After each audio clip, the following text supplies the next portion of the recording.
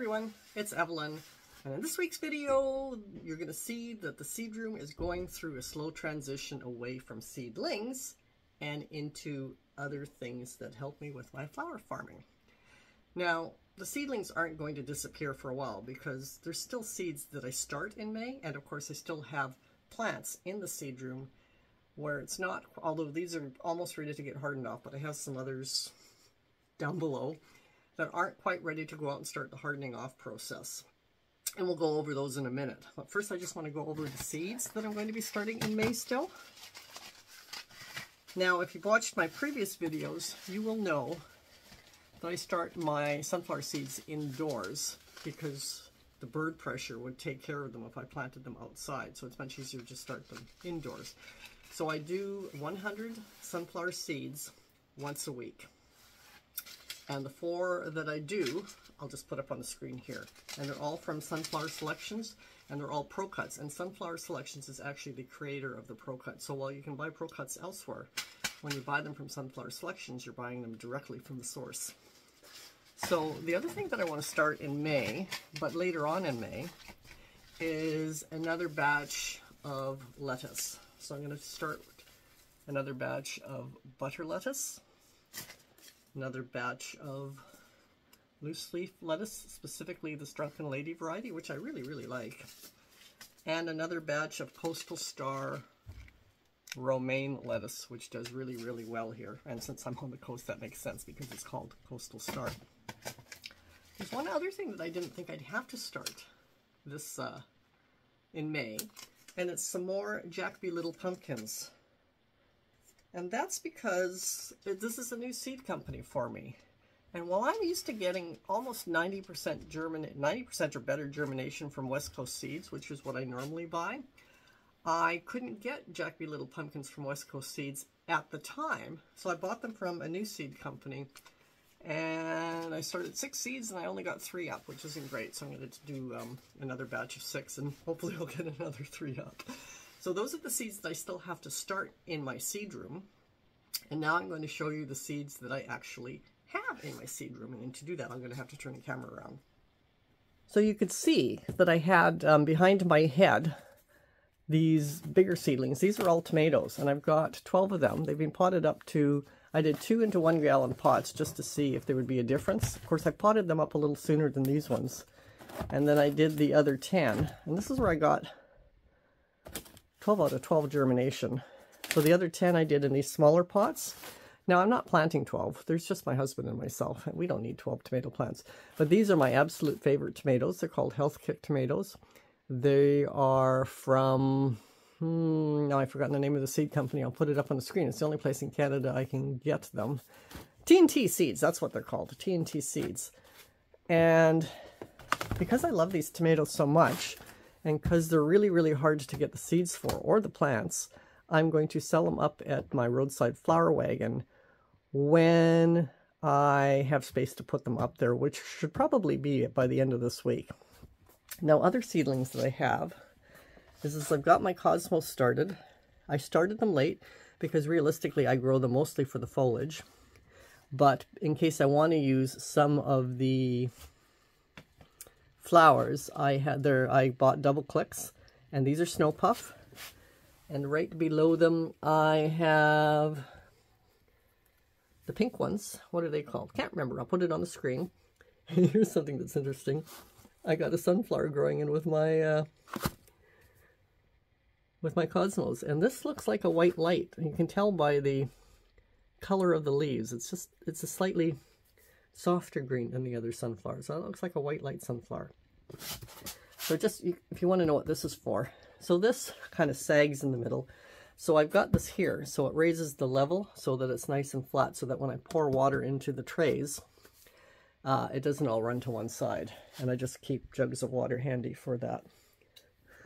So over here, with the domes on it, these are sunflowers that I literally just started yesterday. So today's Monday.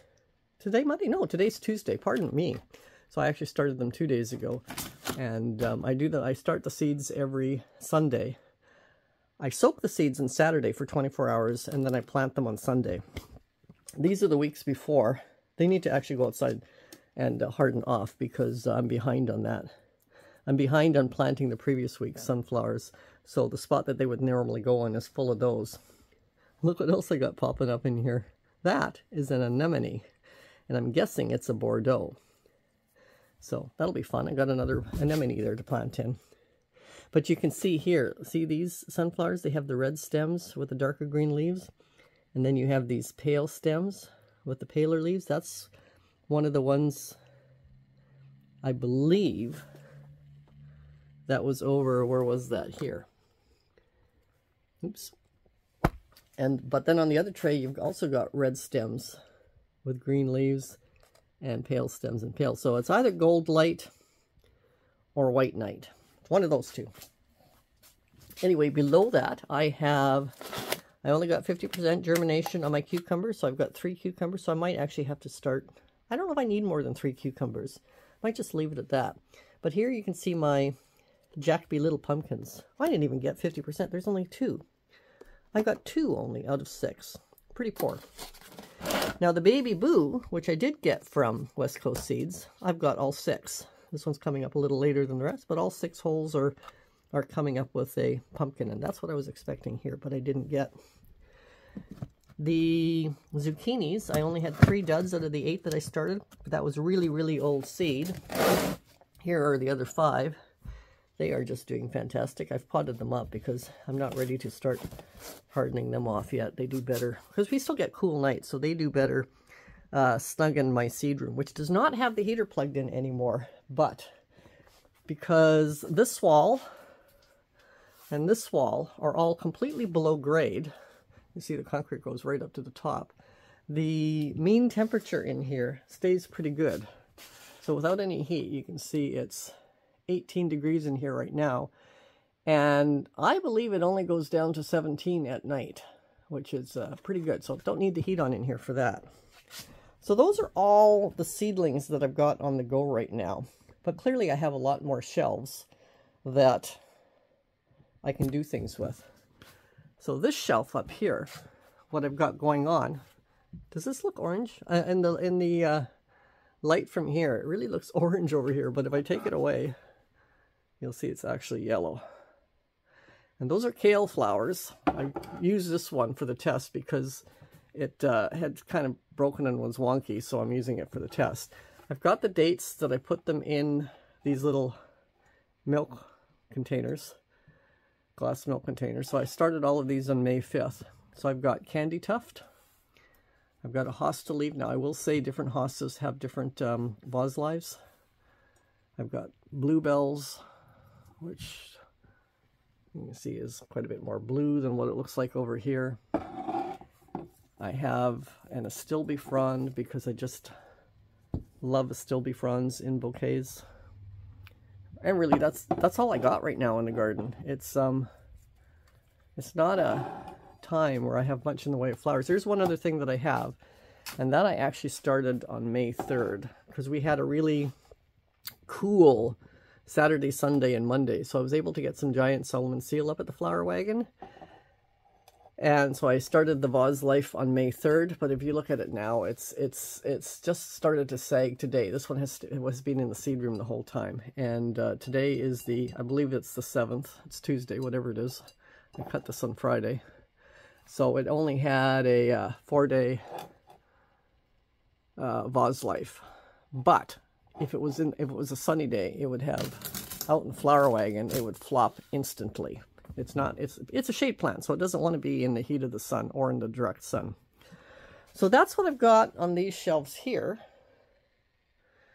Now, we're going to turn around and I'm going to show you what I got on the shelves on the other side.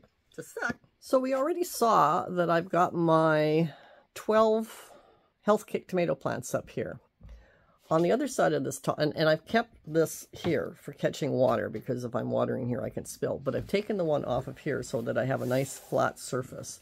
And what I have on this side is big vases. These vases, most of them, not this one for example, because the opening is too small. This is good for something like Giant Solomon Seal where you can just have two or three really tall things in it, same as this one.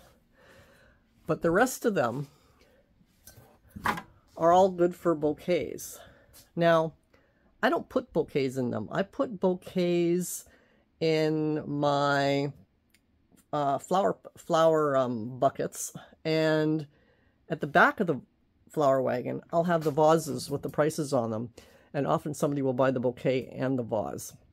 So that's how that works. I don't have very many big vases. I sold most of them last year, so I don't have very many in inventory because I haven't come across much in the way of new ones. What I have here is I just have price tags. You know, these ones are blank here. I've got $15 ones. I've got one $10 one for a tiny thing. I've got 45 40 You know, I just have written out tags from previously. And then um, I use up the ones I've already written. Or if I don't have any written out, then I start some new ones. These vases will start from some of them will be 25 and some of them will be more. So they go up in price from 25 if they're the really big ones, separate from the cost of the bouquet. On the shelf below, you can see I have much smaller.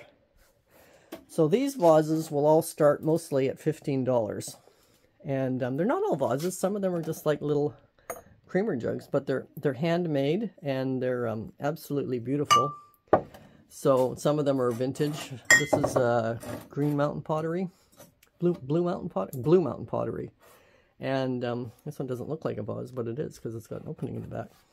So these all, it's the same thing. Um, when I sell my single flowers in pot cans, then at the side of the flower wagon, I'll have three or four of these so that people can buy the single flowers and then a vase to go along with it. And oftentimes people buy that when they go camping. So on this side, I have bigger vases, higher price point again. Most of these are um, are um, studio pottery and have signatures on the bottom of them. Clearly that's not studio pottery because that's glass. But um, yeah, so I have quite a few there, as you can see. I put the, probably the first ones I'm going to use in the front and then and then it goes backwards from there. Down here I have some bigger vases again.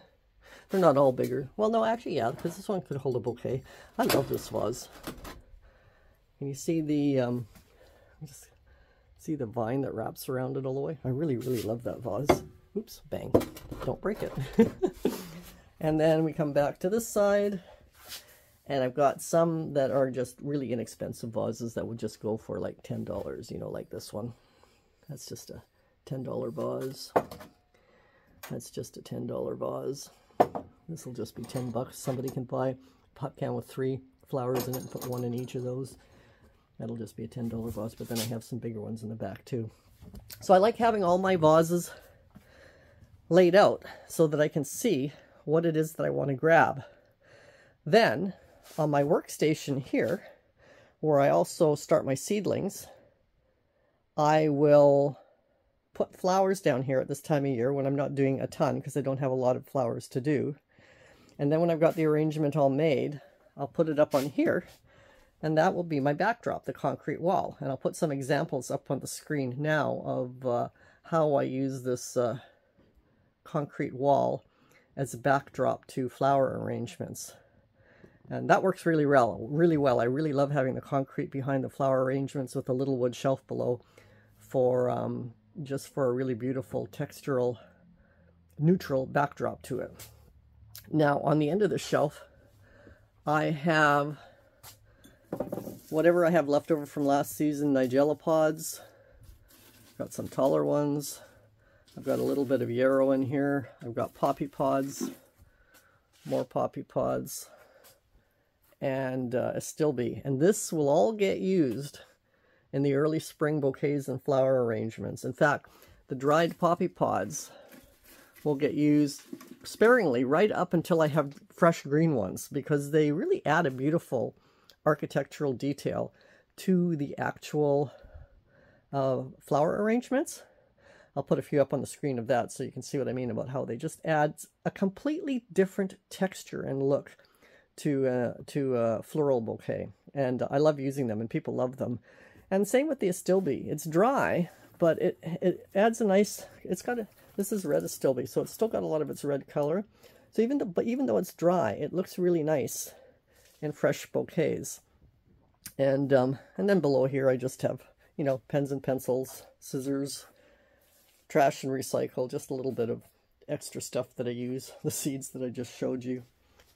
So one of the things about my seed room that makes this a real seamless transition from being absolutely full of plants. And if you haven't seen my uh, April seed room tour, you can check it out up here. And if you look at that, you'll see how absolutely jam-crammed this, this room is with seedlings.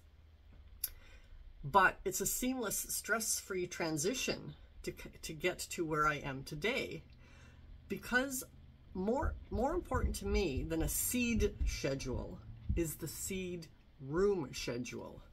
I have a very small space that is highly productive for uh, seedlings, seed starting, and everything that comes after that. But in order to make it highly productive and flow smoothly without any backlogs is by having a seed room schedule. And part of that is created by taking good notes of how your seeds do throughout their time within the seed room. Uh, if you want to check on how I do a seed room schedule, you should check out this video down here. Now what it doesn't have in it is anything to do with May. I start off with uh, the seed room schedule I start talking about in December because that's when I'm doing all the planning. And I go through the do-si-doing of everything in here right up until this point. Um, but still, in my head and in my plan, I do have this point already accounted for. It's just wasn't necessarily appropriate for that particular video because people who are watching that want to know more about actual seedlings and how my schedule goes. So I didn't get into the uh, testing and the vases, etc. But that's a really, really good video to watch if you've never considered doing a seed room schedule so you can see how I create mine. And if you want to see, again, what this room looked like, it was absolutely jam-packed full of stuff and mostly dahlias, check out my uh, uh, April Seed Room Tour. Bye.